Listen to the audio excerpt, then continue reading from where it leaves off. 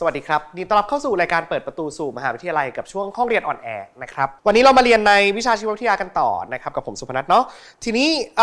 ในตอนนี้ครับเราจะขึ้นหัวข้ออีกกลุ่มหนึ่งนะครับคือจริงๆอย่างที่บอกอะว่าบทเนี้ยมันเป็นบทที่ยิ่งใหญ่มากๆนะครับแล้วเราก็คงไม่ได้จบ season นี้โดย complete ในบทนี้ด้วยเพราะว่าบทมันใหญ่เกินนะครับก็แต่ว่าวันนี้เราจะมาขึ้นตัวกลุ่มสิ่งมีชีวิตอีกกลุ่มหนึ่งคือในตอนที่แล้วเนี่ยเราทวนนิดนึงก่อนนะครับ เราเรียนไปถึงในกลุ่มของยูแคริโอตกลุ่มต่างๆ ใช่ไหมว่าเราบอกว่ายูแคริโอตเนี่ยจริงๆ เราแบ่งออกได้เป็น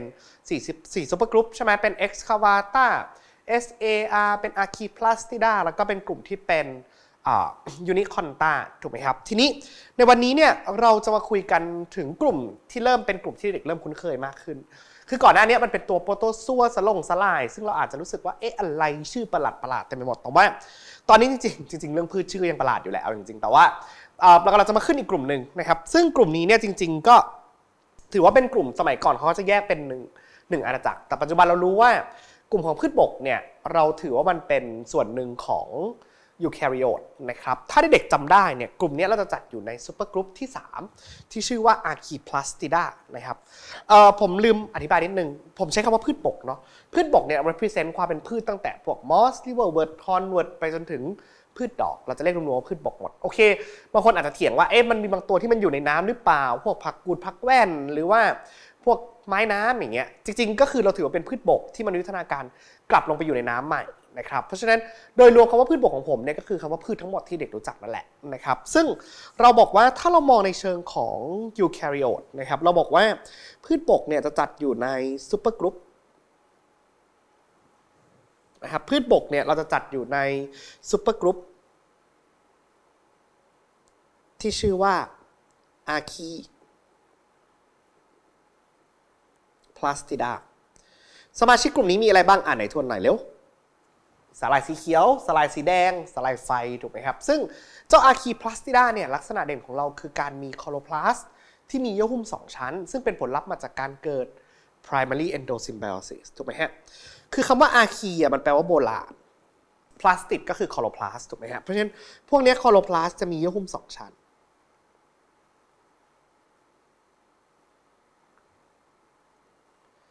มีเยื่อหุ้ม 2 ชั้นนะครับ ที่เป็นผลลัพธ์มาจาก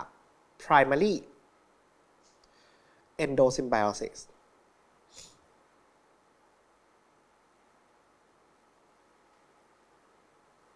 นะครับจำได้เนาะคือถ้าเป็น primary endosymbiosis หมายความว่าอะไรนะ หมายความว่าเด็กมีการ uptake เอาไซโนแบคทีเรียเข้ามาไว้ในเซลล์แล้วก็อยู่ด้วยกันเลย ใช่ไหมครับ ถ้าเรามาดูลักษณะกันนะครับว่า พืชในกลุ่มนี้เนี่ยจริงๆมันมันพืชบกเนี่ยนะครับมันเป็นอยู่ในส่วนหนึ่งของ supergroup เนี่ยนะครับจริงๆถามว่าพืชบกเนี่ยเป็น monophyletic group ไหมหรือถามว่าเป็น clade ไหมคำตอบก็คือมันเป็น clade นะครับเป็น monophyletic group เพราะฉะนั้นสมัยก่อนที่เขาเรียกว่ามันเป็นอาณาจักรพืชก็ไม่ผิด เพราะว่ามันเป็น monophyletic group จริง ๆ นะครับหรือมันเป็น clade จริง ๆ ซึ่งแน่นอนว่าพอมันเป็น clade มันก็มักจะมีชื่อใช่ไหมฮะกรณีของพืชบกเนี่ย clade ที่เขาอยู่เขาชื่อว่า cladeเอมบริโอไฟต้าเขาเรียกสมาชิกในกลุ่มนี้รวมๆกันว่า embryophyte นั่นเองนะครับ เพราะฉะนั้นเวลาเด็กดูชื่อนี้คำว่า embryophyte มันเป็นชื่อทางการของพืชบกนะครับ จัดอยู่ในเคลดที่เราเรียกว่าเคลด embryophyta เดี๋ยวผมขออนุญาตลบนิดหนึ่งเดี๋ยวมันไม่พอนะครับ เราจัดอยู่ในเคลดที่ชื่อว่า embryophyta นะครับทำไมถึงเรียกชื่อนี้ เดี๋ยวเราจะอธิบายให้ฟังว่าทำไมเราถึงชื่อว่า embryophyte นะครับตัวเคลดเราชื่อว่า MBO p h y t a ลักษณะของพืชบกเลยก็คือเป็นสิ่งมีชีวิตพวกยูแคริโอตนะครับ มีความสามารถในการสังเคราะห์ด้วยแสงได้ อันนี้ไม่มีใครเถียงถูกไหมครับมีความสามารถในการสังเคราะห์แสงได้แน่ๆนะครับ มีสารโลควัตถุหรือสารสีถูกไหมฮะ ซึ่งจำได้ไหมว่าในตอนที่เราเรียนสารายกลุ่มต่างๆเนี่ยสารสีแต่ละตัวก็อาจจะต่างกันออกไป กรณีของพืชบกก็เช่นกันครับ สารสีเราก็มีอยู่หลายแบบมาก เช่นคลอโรฟิล A คลอโรฟิล B แล้วก็แคโรทีนอยด์นะครับ เพราะฉะนั้นสารสีที่เรามีนะครับ เราก็จะมีคลอโรฟิลล์ A คลอโรฟิลล์ B แล้วก็แคโรทีนอยด์อยู่ในคลอโรพลาสต์นะครับ ซึ่งตรงนี้คือลักษณะของพืชบก ลักษณะตรงนี้มันจะคล้ายกับในสาหร่ายสีเขียวนะครับ คล้ายกับในสาหร่ายสีเขียวหรือ green algae นะครับเหมือนกัน เพราะฉะนั้นสารสีที่เรามีก็จะเป็นคลอโรฟิล A คลอโรฟิล B แล้วก็แคโรทีนอยด์นะครับโอเคนะครับอันนี้ก็จะเป็นตัวสารสีนะครับลักษณะต่อมาที่เป็นลักษณะของ embryophyte นอกเหนือจากการเป็นมีความสามารถในการสังเคราะห์ด้วยแสงแล้ว ก็คือการมีผนังเซลล์ที่เป็นสารพวกเซลลูโลสเซลลูโลสเนี่ยมันเป็นโพลีแซคคาไรด์แบบหนึ่งนะครับซึ่งมันสามารถถูกสังเคราะห์ได้จาก เอนไซม์ตัวหนึ่งที่ชื่อว่า cellulose synthase cellulose synthase เนี่ยเป็นเอนไซม์ที่อยู่บน membraneนะครับ ซึ่งถูกสร้างมาจาก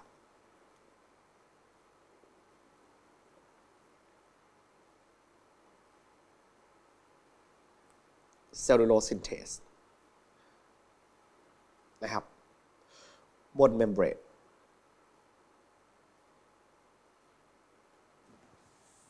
ก็จะเป็นตัวที่มันสร้างขึ้นมานะครับทีนี้อันนี้ก็จะเป็นลักษณะของเขาอย่างที่ 3 เพราะฉะนั้นอะตอนนี้พืชมีลักษณะอะไรบ้างmulticellular eukaryote ถูกไหมครับ มีความสามารถในการสังเคราะห์ด้วยแสง มีคลอโรฟิลล์ A คลอโรฟิลล์ B แคโรทีนอยด์ถูกไหมครับ มี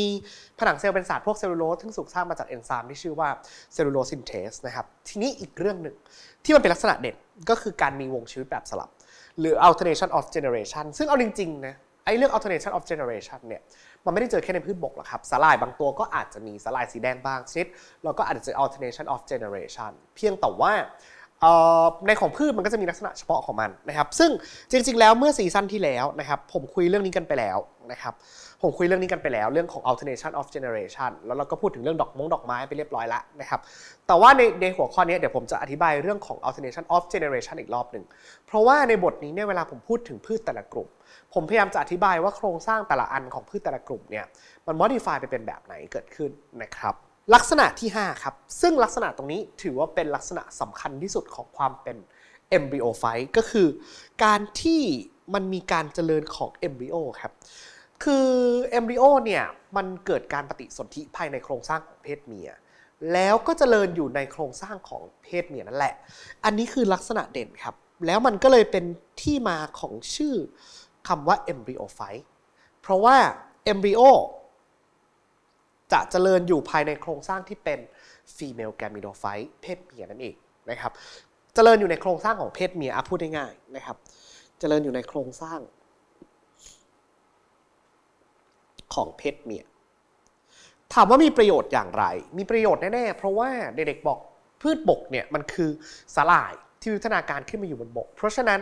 มันจำเป็นจะต้องมีตัวที่ protect เขาจากความแรงที่มันเกิดขึ้นนะครับ เพราะฉะนั้นพวกนี้เนี่ยมันเพิ่มโอกาสรอดให้กับเอมบริโอครับ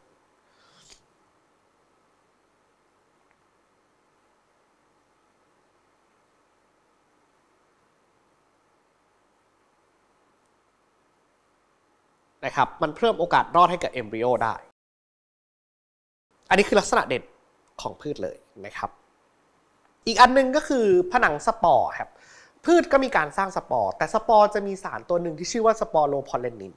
ซึ่งโครงสร้างก็จะอารมณ์คล้ายๆ กับพวก cutin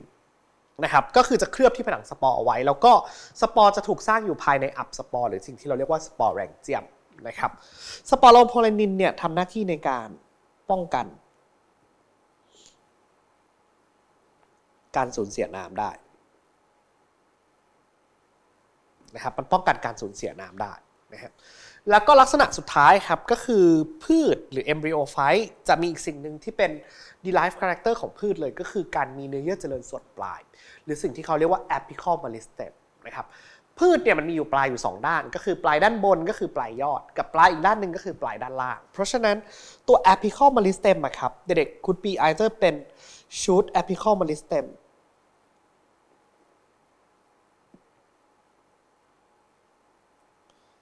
ก็คือเนื้อเยื่อเจริญปลายยอด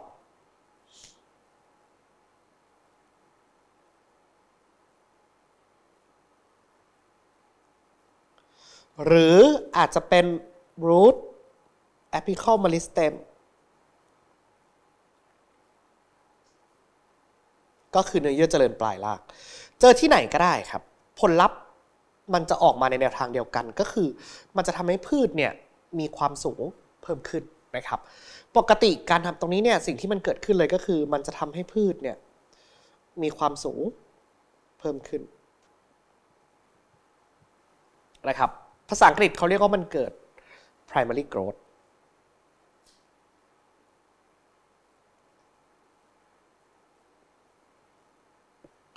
สังเกตเขาเรียกว่ามันเกิด primary growth เกิดขึ้นนะครับ เพราะฉะนั้นอันนี้เป็นลักษณะทั่วไปของพืชบกที่เราควรจะต้องรู้จักนะครับ ไม่ว่าจะเป็น eukaryotic cell สังเคราะห์ด้วยแสงได้ ผนังเซลล์เป็นเซลลูโลส มีวงชีวิตแบบสลับ การมี embryo เจริญอยู่ภายในโครงสร้างของเพศเมีย การมี sporopollenin เคลือบสปอร์ แล้วก็การมี apical meristem ที่ทำให้พืชเนี่ยมันมีความสูงเพิ่มขึ้นได้นะครับ ลักษณะเหล่านี้เป็นลักษณะที่เราพบได้ในพืชทุกชนิด นะครับ ทีนี้สิ่งที่เราจะคุยกันก็คือ ผมจะคุยกันนิดนึงเกี่ยวกับในเรื่องของวงชีวิตแบบสลับ จริง ๆ เราต้องใช้คำว่าเรามาทวนกันดีกว่านะครับ คือเรื่องของวงชีวิตแบบสลับเนี่ยมันเป็นคีย์สำคัญไม่ว่าเด็กๆจะพูดถึงเรื่องพืชเมื่อไหร่ก็ตามยังไงยังไงมันก็ต้องกลับมาที่วงชีวิตแบบสลับนะครับอะเรามาทวนกันนิดนึงก่อนนะครับวงชีวิตแบบสลับมันเริ่มจากอะไรนะครับ จริง ๆ มันจะเริ่มจากการที่พืชเนี่ยมันจะมีเขาเรียกว่าอะไรนะ ระยะที่เราเห็นทั่วไปก่อนอะอย่างสมมติว่าเด็กๆเดินไปใน หลังบ้านเด็กๆเจอต้นมะม่วง เด็กๆเจอต้นมะขาม เด็กๆเจอต้นชบาพู่ระหงอย่างเงี้ย เด็กๆก็บอกว่าโอเคเด็กๆก็เห็นต้น คือในพืชเนี่ยมันมีอยู่ 2 stage นะครับ stage ที่เราเห็นทั่วไปของพืชดอกนะกรณีของพืชดอก พืชชนิดอื่นอาจจะไม่เหมือนกัน แต่กรณีของพืชดอกที่รู้จักทั่วไปเนี่ย ระยะที่เราเห็นมันเป็นระยะที่มีการสร้างสปอร์ เราเรียกระยะเนี้ยว่ามันคือระยะsporophyte นะครับ เพราะฉะนั้นระยะแรกสุดที่เราจะเริ่มต้นกันก็คือเราจะเริ่มต้นจากระยะ sporophyte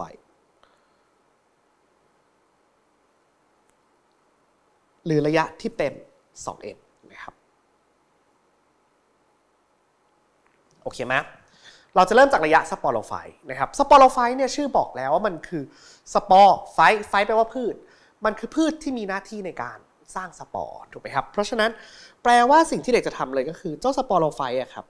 มันจะทำหน้าที่ในการสร้างสิ่งที่เรียกว่าสปอร์ขึ้นมา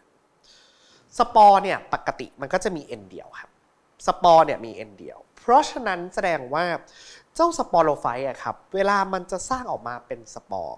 มันก็ต้องมีเซลล์ต้นกำเนิดอยู่ใช่ไหมคือ sporophyte เนี่ยมันเป็นมันเป็นทั้งต้นเนาะ พืชทั้งต้นอย่างเงี้ย พืชดอกทั้งต้นที่เราเห็นมันคือ sporophyte เพราะฉะนั้นมันจะมีแค่บางบริเวณเท่านั้นที่มันมีการสร้างสปอร์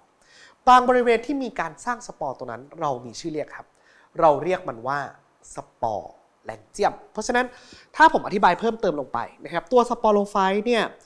มันจะมีโครงสร้างที่ภาษาไทยเขาจะเรียกว่ามันเป็นอับสปอร์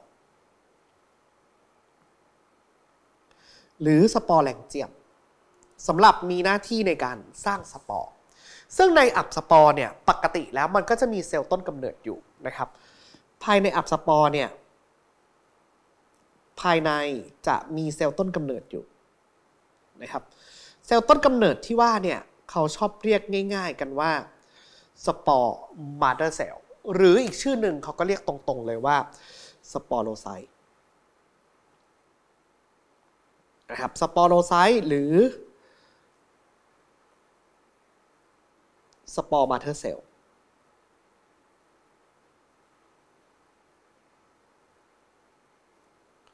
ซึ่งตัวนี้คือตัวที่เป็น 2n ครับ ซึ่งมันจะเกิดการแบ่งเซลล์แบบไมโอซิสนะครับ ออกมาได้กลายเป็น สปอร์ เพราะฉะนั้นเวลาผมเขียนอะผมก็เลยชอบเขียนว่า sporophyte แบ่ง meiosis ออกมาได้สปอร์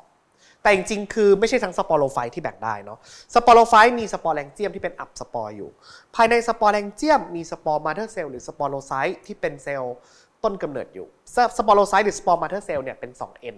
แต่เด็กก็จะเกิดการแบ่งเซลล์แบบ meiosis ออกมากลายเป็นสปอร์ โอเคไหม เวลาผมเขียนผมจะเขียนแค่ meiosis แต่ว่าจริงๆ เราคือจะบอกว่าใน sporophyte มี sporangium sporangium มี sporocyte sporocyte แบ่ง meiosis ได้สปอร์สปอร์ตกลงมาครับสปอร์ก็จะเจริญต่อมาขึ้นมากลายเป็นเป็นโครงสร้างเป็นพืชระยะใหม่ขึ้นมานะครับสปอร์ตกลงมากลายเป็นพืชระยะใหม่ พืชระยะใหม่ที่เกิดขึ้นมาตรงนี้ เราเรียกว่าgametophyte ซึ่งเป็น n เดียวนะครับ เราบอกว่าเรามีการสร้าง gametophyte ขึ้นมา n นะครับ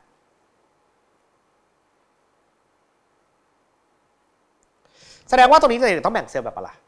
ก็ไมโทซิสไหมเพราะว่าเด็กบอกว่าเด็กมีสปอร์ n เดียวเด็กกลายเป็น multicellular gametophyte ขึ้นมานะครับ เพราะฉะนั้นตัวนี้เด็กก็จะเกิดการแบ่งเซลล์แบบไมโทซิสกลายเป็น gametophyte ทีนี้เราดู structure ของเขา ชื่อบอกแล้วว่า gametophyte คือพืชที่ทำหน้าที่ในการสร้างแกมีถูกไหมครับ พืชที่ทำหน้าที่ในการสร้างแกมีเพราะฉะนั้นแปลว่าตัวนี้เด็กๆก็จะสามารถสร้างออกมาได้ 2 อัน ก็คือเป็น male gamete n เดียว แล้วก็ female gamete n เดียวเหมือนกัน ถูกไหมครับ male gamete ก็คือสเปิร์มซึ่งส่วนใหญ่ ถ้าไม่ใช่พืชขึ้นมาจนถึงพืชมีเมล็ดเนี่ยพืชมีเมล็ดก็มีนะ แต่ว่าส่วนใหญ่แล้วมันจะเป็น flagellate sperm ก็คือเป็นสเปิร์มที่มี flagellum สำหรับใช้ในการว่ายน้ำได้ ถ้าเป็น female gamete ก็จะเป็นเซลล์ไข่นะครับทีนี้เรามาอธิบายเพิ่มเติมกันนิดหนึ่งโอเค ทุกคนรู้ว่ามันมีการแบ่งเซลล์แบบนี้ ทีนี้ตอนเรามี sporophyte เราก็บอกว่าทั้งต้นไม่ได้สร้างสปอร์ เรามีโครงสร้างที่เรียกว่าอับสปอร์ในการสร้างใช่ไหม gametophyte ก็เช่นกันครับ มันก็จะไม่ได้ทั้งส่วนที่มันทำหน้าที่ในการสร้างเซลล์สืบพันธุ์มันก็จะมีบางบริเวณเท่านั้นที่มันสามารถสร้างเซลล์สืบพันธุ์ได้ ยกตัวอย่างเช่น ถ้าเป็นกรณีของเซลล์สืบพันธุ์เพศผู้ มันก็ควรจะมีสิ่งที่เรียกว่าแกมีแทงเจียมลากศัพท์คำว่าแองเจียมคือบริเวณเหมือน sporangium ก็คือ angium ที่มีสปอร์สร้างสปอร์ใช่ปะถ้าแกมีเราก็เรียกมันว่า gametangium เพียงแต่ว่าในทางพฤกษศาสตร์นะครับ gametangium เขาจะมีชื่อเฉพาะแยกเพศกันไปเลยนะครับ เพราะฉะนั้นแปลว่าตัวเพศผู้เนี่ยมันก็จะต้องมีสิ่งที่เรียกว่า male gametangium เราก็จะต้องมีเมลแกมีแทงเจียม ซึ่งเมลแกมีแทงเจียมเขามีชื่อเรียกครับ เขาเรียกมันว่า antheridium อันนี้สำคัญนะครับ antheridium คือโครงสร้างที่สร้างเซลล์สืบพันธุ์เพศผู้ หรือเมลแกมีแทงเจียม ส่วนผู้หญิงก็จะมีเช่นกันครับ เราก็จะมี female gametangium ซึ่งในทางพฤกษศาสตร์ เราก็ไม่ค่อยเรียก female gametangium ครับ แต่เราจะเรียกเขาว่า a c h i g o n i u m โอเคไหมของตัวผู้มี antheridium ของต้นเพศเมียมี archegonium สร้างสเปิร์มสร้างไข่ออกมา ซึ่งแน่นอนว่าตัวนี้เด็กๆก็จะแบ่งเซลล์แบบไมโทซิสเพราะว่า generation ในเด็กมันคือ N เด็กๆสร้าง N ออกมา เพราะฉะนั้นจำนวนโครโมโซมเด็กๆไม่เปลี่ยนเด็กๆก็ต้องเกิดการแบ่งเซลล์แบบไมโทซิสถูกไหมฮะหลังจากนั้นเด็กๆก็พบว่าสเปิร์มไข่รวมกันก็จะกลายเป็น zygote ถูกไหม zygote ก็จะเริ่มต่อไปกลายเป็น embryo embryo ก็จะเจริญต่อไปเป็นสปอโรไฟต์ใหม่นะครับจบละ อันนี้คือวงชีวิตแบบสลับ เพราะฉะนั้นเหมือนเดิมถ้าพี่ลากขึ้นมาเป็นเส้นแบบนี้ปึ๊บเด็กก็จะเห็นว่าเรามี2เฟสเฟสหนึ่งคือเฟสที่เด็กเป็นดิพลอยตลอด ใช่ไหมแล้วก็อีกเพจหนึ่งก็จะเป็นเฟสที่เป็นแฮปพลอยนะครับเพราะฉะนั้นวงชีวิตแบบนี้เราเลยเรียกว่ามันเป็นวงชีวิตแบบสลับหรือ alternation of generation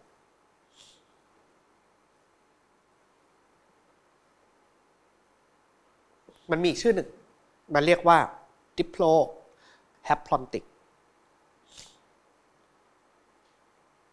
life cycle ครับ เป็น diplo haplontic life cycle นั่นเองนะครับ โอเคไหม เพราะฉะนั้นอันนี้ก็จะเป็นลักษณะที่มันเกิดขึ้นนะครับ โอเค อันนี้คือวงชีวิตแบบสลับของพืชปกตินะครับ ทีนี้มันก็มีพืชจำนวนมากครับ ที่ pattern คือไม่ว่าจะเป็นพืชกลุ่มไหนก็ตามอะลักษณะของเด็กๆ ก็ยังคงเป็นวงชีวิตแบบสลับแบบนี้ เพียงแต่ว่าช่วงความเด่นมันจะไม่เหมือนกันเนาะอย่างเด็กๆ เป็นพืชไม่มีเนื้อเยื่อลำเลียงอย่างพวกมอส liverwort hornwort อย่างเงี้ยระยะเด่นเด็กๆจะเป็น gametophyte แต่ถ้าเด็กๆเป็นพืชดอกพืชมีเมล็ด ระยะเด่นเด็กๆจะเป็น sporophyte เพราะฉะนั้นมันจะแตกต่างกันออกไปนะครับ แต่ว่าโดยพื้นฐานต้องเหมือนกัน คือเด็กก็ต้องมี sporophyte มี sporangium แบ่ง meiosis ได้สปอร์สปอร์กลายเป็น gametophyte gametophyte สร้าง gamete gamete รวมกันกลายเป็น zygote embryo กลับมาเป็น sporophyte ใหม่นะครับ ทีนี้เด็กจะเห็นว่ากรณีแบบนี้ครับ เด็กจะสังเกตเห็นได้ว่า มันมีการสร้างสปอร์แค่แบบเดียว คือผมไม่ได้แยกลักษณะของสปอร์ถูกไหมผมก็จะเรียกมันว่าเป็นสปอร์เลยนะครับ พืชประเภทนี้ครับ เราเรียกเขาว่าเป็น homospore ครับ เขาเรียก homospory ก็คือเด็กๆจะมีการสร้างสปอร์หนึ่งขนาด แต่ในความเป็นจริงแล้วอะครับพืชจำนวนมากโดยเฉพาะพืชมีเมล็ดขึ้นมาเนี่ยมันมักจะมีการสร้างสปอร์สองขนาด เพราะฉะนั้น sporophyte แทนที่เด็กจะแบ่งแค่ว่าเป็นสปอร์เราก็จะมีการแยกออกมาเป็น 2 ส่วน สปอร์อันหนึงมีขนาดเล็ก สปอร์อันหนึงมีขนาดใหญ่ เพราะฉะนั้น sporangium เด็กจะแยกมา ก็แยกถูกไหมเหมือนตอนสร้างแกมีเด็กๆยังแยกเป็น antheridium ของตัวผู้ archegonium ของตัวเมียเลย เพราะฉะนั้นแปลว่าถ้าเด็กเป็น heterospore หรือพวกที่สร้างสปอร์สองขนาด เด็กก็จะมี microspore กับ megaspore แสดงว่าเด็กก็ต้องมี microsporangium megasporangium ถูกไหมถึงจะสร้าง microspore กับ megaspore ได้นะครับเพราะฉะนั้นถ้าเรามาดูกันเพิ่มเติมนะครับเพราะฉะนั้นแปลว่าในบางครั้งเด็กอาจจะบอกรายละเอียดมากกว่านี้ก็ได้นะครับเพราะฉะนั้นผมเขียนไงดี ผมเขียนตรงนี้แล้วกันเนาะ sporophyte ผมเขียนดึงมาแค่บางส่วนละกัน sporophyte ในเด็กเป็น 2n ใช่ไหมที่เราคุยกันนะครับ แสดงว่าในพืชกลุ่มที่เป็น homospory ผมขอใช้คำนี้นะ homospory ขอโน้ตไว้ตรงนี้เลยแล้วกันเอ heterospory ครับheterospory ก็คือพืชที่มีการสร้างสปอร์สองขนาดนะครับ มันก็จะมีการ สร้างสปอร์ถูกไหมมันก็จะมีการสร้างสปอร์ขึ้นมา ซึ่งการสร้างสปอร์ของเขาเนี่ยก็จะแบ่งเป็นสองส่วน ถูกไหมก็คือเด็กๆก็จะมี microsporangium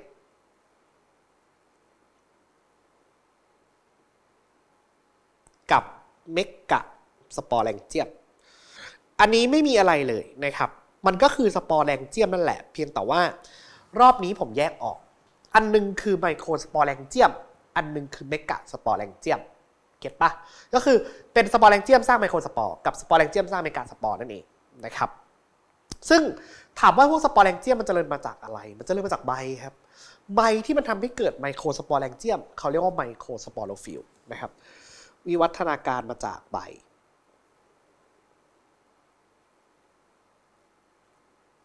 ที่เรียกว่า microsporophyll คือถ้าเป็น homospore เด็กๆก็มี sporophyll เหมือนกันเนาะคำว่า phyll มันแปลว่าใบจ้ะ ใบที่สร้าง microsporangium แต่ถ้าเป็น megasporangium เด็กๆก็บอกได้ว่ามันวิวัฒนาการมาจากใบ ที่เป็น megasporophyll ถูกไหม microsporangium เจริญมาจาก microsporophyll ข้างในก็ต้องมี sporocyte ถูกไหม sporocyte ที่อยู่ข้างในนี้ก็จะชื่อว่า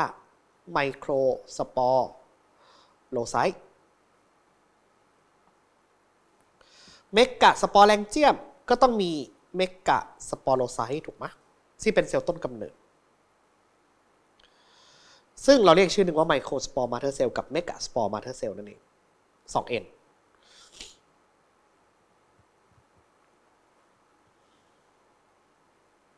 อันนี้ก็จะเป็น megaspore mother cell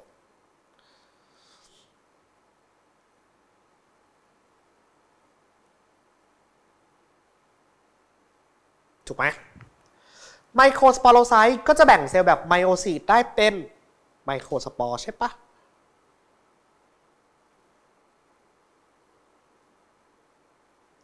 อันนี้ก็เดาได้ว่าเด็กๆแบ่งไมโอซิสออกมาได้กลายเป็น megaspore ใช่ไหม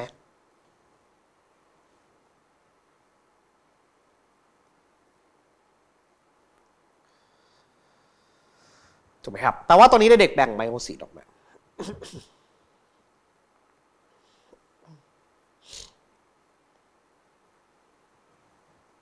นะครับ microspore ก็จะเจริญต่อไปกลายเป็น male gametophyte ถูกไหมเราแยกกันเลย เพราะว่าตอนนี้เราแยกละนะครับ ตรงนี้เด็กก็จะเจริญต่อไปกลายเป็น male gametophyte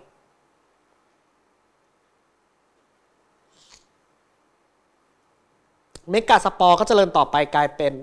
female gametophyte ถูกไหมซึ่ง male gametophyte ก็จะมี antheridium สร้างสเปิร์มถูกปะส่วน female gametophyte เด็กๆก็จะมีarchegonium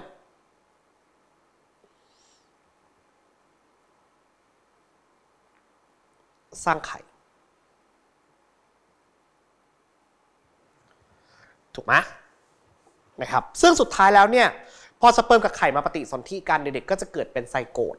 ไซโกตก็วนกลับมาเป็น sporophyte ใหม่ได้ เห็นไหม เพราะฉะนั้นเด็กจะเห็นได้ว่า route แบบนี้ครับ มันเป็น route เฉพาะของพวกที่เป็นheterospory นะครับปึ๊บ ถามว่าใครเป็น heterospory บ้าง อันนี้โน้ตไปก่อน เดี๋ยวเราค่อยมาคุยกันอีกทีหนึ่งนะครับ คนที่เป็นพวกสร้างสปอร์แบบนี้เด็กๆก็จะมีพืชมีเมล็ดทั้งหมดครับ seed plant เมล็ดเปลือยพืชดอกเป็นแบบนี้หมดนะครับซิเล c จิเนล่า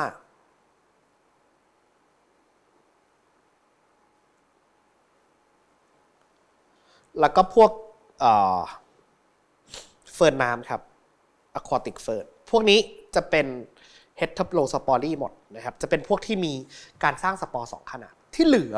จะมีการสร้างสปอร์แค่ขนาดเดียวก็คือไดอะแกรมทั้งหมดก็จะเป็นเหมือนกับอันก่อนหน้านะครับจริงๆเด็กๆดูมันคือสิ่งเดียวกันแหละ ก็คือ sporophyte มี sporangium ซึ่ง sporangium ถ้าเป็นกรณี heterospore เด็กก็มีเป็น microsporangium กับ megasporangiumซึ่งถ้าเป็นกรณี heterospore เด็กก็จะแยกเป็น microspore กับ megaspore เพราะฉะนั้นเด็กก็จะแยกเป็น male gametophyte กับ female gametophyte แต่ถ้าเด็กไม่มีแยกออกมาเด็กก็จะเป็นสปอร์ gametophyte gametophyte ก็จะมี antheridium สร้างสเปิร์มมี archegonium สร้างเซลล์ไข่สเปิร์มไข่ปฏิสนธิกันกลายเป็นไซโกตไซโกต embryo เจริญอยู่ในต้นเพศเมียใช่ไหมจำได้ไหมมันจึงเป็นที่มาของชื่อ embryophyteหลังจากนั้นเอมบริโอก็เจริญกลับมาเป็นสปอโรไฟต์ใหม่ ซึ่งพืชแต่ละชนิดก็จะมีระยะเด่นในวงชีวิตต่างกันออกไป บางอันเป็นแกมีโทไฟต์เด่น บางอันเป็น สปอโรไฟต์เด่นขึ้นอยู่กับชนิดของพืชนั่นเองนะครับ เพราะฉะนั้นในตอนนี้เนี่ยเด็กๆ น่าจะรู้จักเกี่ยวกับโครงสร้างของพืชลักษณะสำคัญของพืชรวมถึงเรื่องวงชีวิตแล้วนะครับ ในตอนหน้าเราจะไปดูการจัดกลุ่มของพืชแบบต่างๆกัน ซึ่งเมื่อเด็กๆเข้าใจวงชีวิตแล้ว ผมจะอธิบายจากโครงสร้างของวงชีวิตเป็นหลักนะครับเด็กจะต้องเคลียร์อันนี้ให้แม่นๆเลยนะแล้วเดี๋ยวตอนหน้าเรามาเริ่มเรียนกันว่า พืชแต่ละกลุ่มมันมีลักษณะเด่นอย่างไรที่มันแตกต่างกันออกไปใน แต่ละส่วนนะครับสำหรับตอนนี้เราเอาไว้เท่านี้ละกันนะครับ เจอกันตอนต่อไปครับ ขอบคุณครับ สวัสดีครับ